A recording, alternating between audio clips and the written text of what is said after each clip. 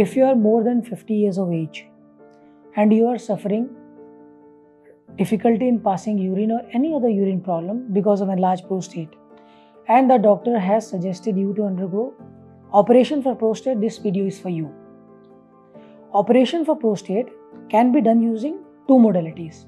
Number 1 is using electric energy when it is called TURP and number 2 using lasers lasers have the added advantage of minimizing the bleeding. Lasers can also be of three types. One is holmium laser, second is thulium laser, and third is green light laser. Out of all the modalities, I am going to talk about green light laser surgery today because this is the most advanced and the safest technique for operating on the prostatic tissue albeit because it is a recent technology, it comes with slightly higher cost. In green light laser, the prostatic tissue, it is not cut. It is just evaporated by throwing this green light of a particular wavelength over the enlarged or obstructing prostate tissue. Since there is no cutting involved, there is minimum bleeding during the surgery with very high surgical safety. The green light laser use also ensures that the bleeding should be minimum.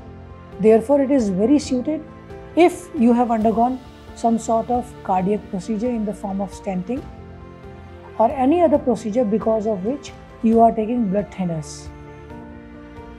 While we use green light laser, there is no need to stop these blood thinners during the surgery. Apart from these advantages, there is also a very big advantage of reduced duration of catheterization.